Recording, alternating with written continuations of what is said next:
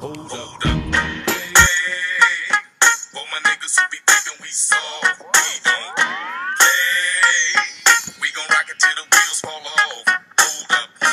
Hey, for my niggas who be acting too bold, take a seat. Hope you're ready Lord, you're blocking the camera. Smoke weed every day. Okay, Lordy, move. Hello, guys. This is the Irish Fun America live radio show broadcast. Today's date. What is today's date?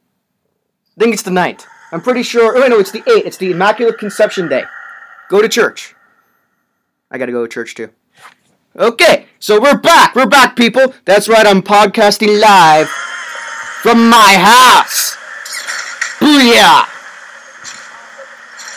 Um, a lot of things have been going on, you know? A lot of things have been going on.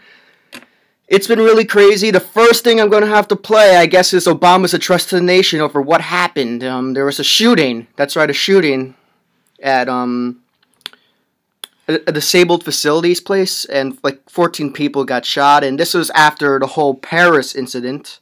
That was the worst Friday the 13th, by the way. Let me get up that photo. That one Friday the 13th, it was just horrible. Um, going to screen now.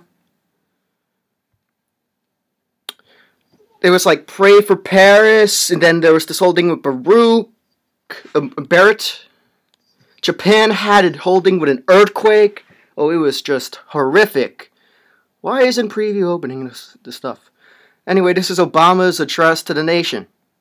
Americans. Americans. Tonight I Tonight want I want to speak to you about what the United States will do with our friends and allies to degrade and ultimately destroy the terrorist group known as ISIL. As Commander-in-Chief, my highest priority is the security of the American people.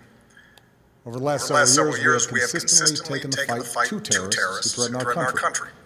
We took out Took out Osama bin Laden and much of Al-Qaeda's leadership in Afghanistan and Pakistan.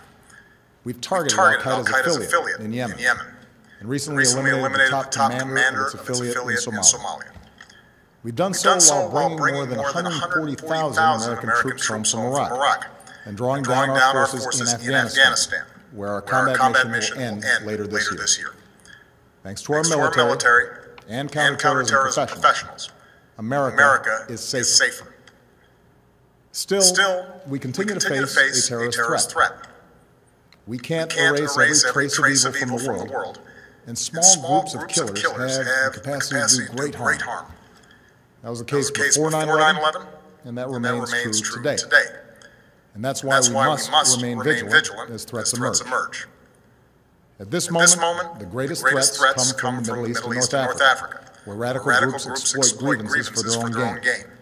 And one of, And those, one of groups those groups is is ISIL, ISIL, which calls, which calls itself, itself the Islamic, State. State. There we go, people. That was Obama's address to the nation, or at least the highlights of it from CNN.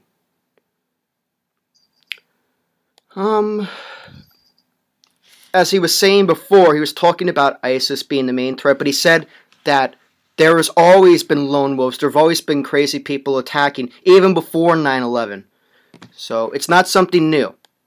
Uh, and I'm glad that the president did address that.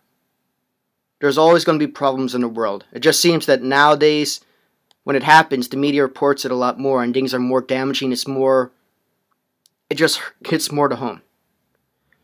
Everybody was set for a pray for Paris, but when it happened here, nobody, uh, you know. Hold on a second, I can't get Safari. Oh, this is going to be a problem. Why did I drag it down? Okay, okay, so. The next issue at hand, I want to talk about Romney. That's right, you know, Romney. Um, I've always had like this whole thing with crazy people I like to talk about, but Romney is very special. Very where special. the hate comes from and why, we'll have to determine. We're going to have to figure it out. We have to figure it out. We can't live like this. It's going to get worse and worse. You're going to have to have more world trade It's going to get worse and worse. We can be politically correct and we can be stupid, but it's going to get worse and worse.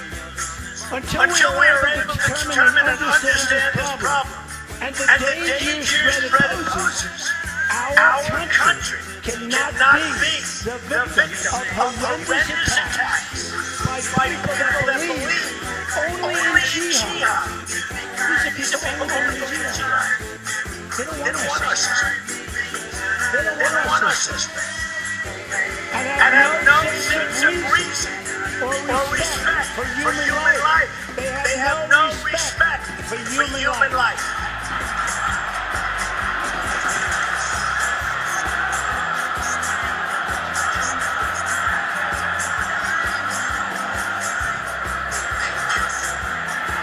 That's all right. That's all right. He sounds, he sounds like, he's, like very, he's very exhausted. It's all right. It's all right. He's, he's tired. So, so they have, they no, have no respect for human life. life. So we so we have to do something now. That's that's Donald Trump for you. Did I call him Romney? Sorry.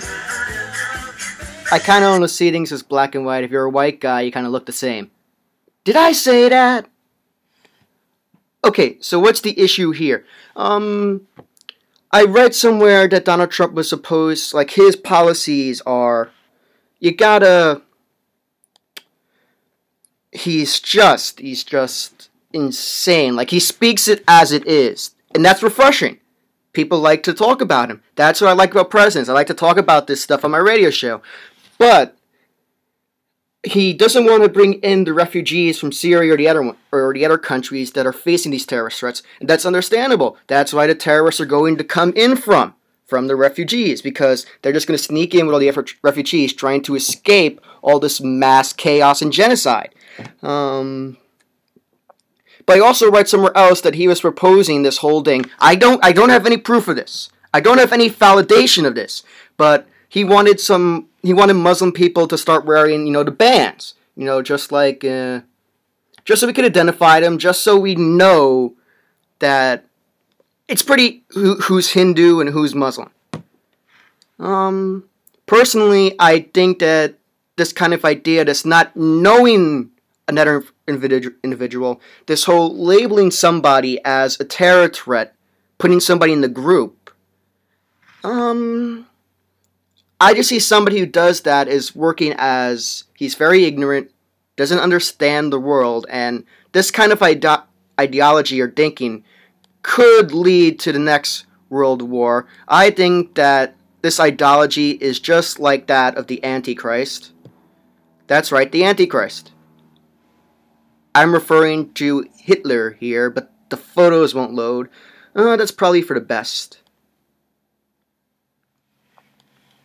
probably for the best. But yeah. But, I mean, if you want to think about it, all of the presidents beforehand, every president of the United States has been considered the Antichrist, even Obama himself. So, what am I saying here? Am I saying that that means Romney's going to be president? He's going to buy the election? Dun dun dun! Yeah. But yeah, that's my views of Donald Trump. Did I say Romney again? My bad. Speaking back in the old days of the radio show. I gotta find out what's wrong with these photos. They're not popping up at all. Oh well. But one thing Donald Trump did bring up was being PC. And we've all been there. We've all, um, you know, maybe said a joke or something that was offensive to somebody, and people are like, "You can't say that. You are very discriminative. You are ignorant. They just judge you without knowing you." Um, here's what I found: at Wesley Apex, Naruto has Asperger. That's why he is dumb is in the head to Sasuke and doesn't get it Shippuden. So this is PC Principal. I don't get it. What's Asperger's? Is there something to be PC about? So we've all been there. We all we've all said things that some people might find funny, and some people are like, this is offensive to Asperger's. How could you say that? You should be ashamed of yourselves. Um, just to be fair, let's look up what Asperger's is for the PC people. Asperger's syndrome, also called as Asperger's disorder, is a type of reflexive development disorder. Although Asperger's syndrome, hold on. Although Asperger's syndrome, why isn't this going down? involves the development of the development of many basic skills. delays in the development of many basic skills, most notably the ability to socialize with others, to communicate, and to use imagination. This is a spectrum where PDD disorders. So people have trouble communicating. Although Asperger's syndrome is similar in some ways to autism, another more severe type of PDD, there are some important differences. Children with Asperger's syndrome typically function better than do those with autism. In addition, children with Asperger's syndrome generally have normal intelligence and near normal language development, although they may develop problems communicating as they get older. So, yeah, that's Asperger's syndrome. But as I've been getting older, I, I've been noticing this pattern that uh, the older I get, the more I start to appreciate Friends. You know, Friends, the TV show? I didn't really like the show and catch on to the series. You know, I, I never really watched it. I probably only seen like 10 episodes, I think. I remember the episode where Ross marries Rachel in Vegas. Um, I can appreciate the 10 episodes I've seen now. Even if I think it, the show was very boring. Like when I was a kid, this show was the most boring thing. I didn't watch it. All my cousins loved it. In Ireland, they love Friends, and they couldn't understand why I didn't like it. All the girls liked Friends, so then I couldn't, like, I was outcast for not liking Friends. So, but I appreciate some of the stuff they've been talking about now. So no one told you life was going to be this way. Your job's a joke. Your love life's DOA. You're always stuck in second gear. This is very much what life has been like. Um, as you get older. Um, my friend Nikki, Nicholas DeCarlo, also known as Brovian93 on Twitter, sent me this video of the Animaniacs. Why isn't it? YouTube.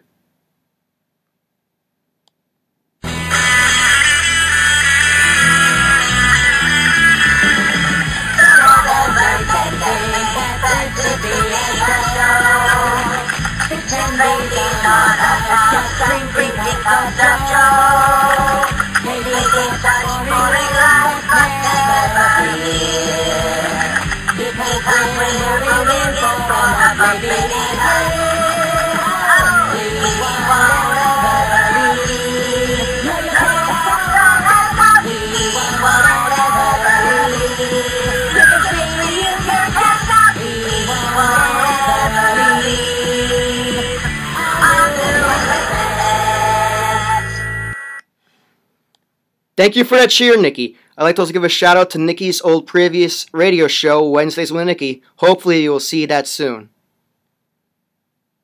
And speaking of shout outs and Wednesdays, I'd like to give a shout out to the Underground Section Radio. It is back this Wednesday night, 7 p.m. to 8.30, live on itchyourradio.com. They will be playing exclusive music by some dope artists like Fisher, Johnny Floss, Chris Rivers, Emilio Rojas, myself feet, UP, plus more.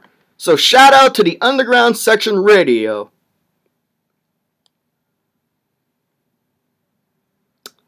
Um, is that all we got? Yeah, that's all we got, people. Thank you for tuning in. It's been 13 minutes of the Irish Wolfhound of America. We are back. Thanks for watching.